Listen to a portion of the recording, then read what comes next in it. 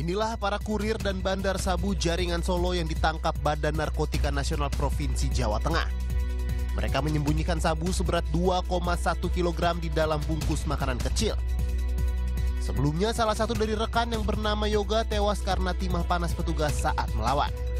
Yoga juga rupanya merupakan residivis yang baru satu setengah tahun lalu dibebaskan.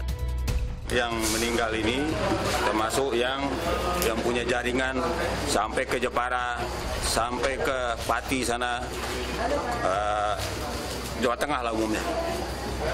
Oke. Ada hubungannya dengan internasional Pak, jaringan ini Pak? Untuk sementara kami, kami masih dalam melakukan lidik. Dengan terakhir tadi sudah kami sampaikan bahwa ini diambil dari Jakarta, tepatnya dari Mangga Square. Sementara tersangka lainnya dibekuk petugas saat mereka tiba di Terminal Mangkang. Usai mengambil barang haram tersebut dari Jakarta. Salah satu pelaku yang rupanya pengangguran ini mengaku baru sekali berurusan dengan sabu dan ini merupakan ajakan teman. Diajak Pak. Diajak teman? Iya. Gimana ngajakin teman? Ya diajak gitu. Gimana? Diajak ke Jakarta gitu. Nah, terus terus? Ya dianya tapi nggak ngomong diajak ngapain lu nggak ngomong. Pertamanya nggak. Ya ngomong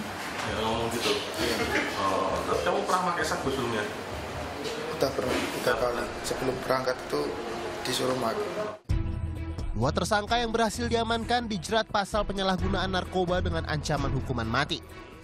Yusuf Hanggara melaporkan untuk NET.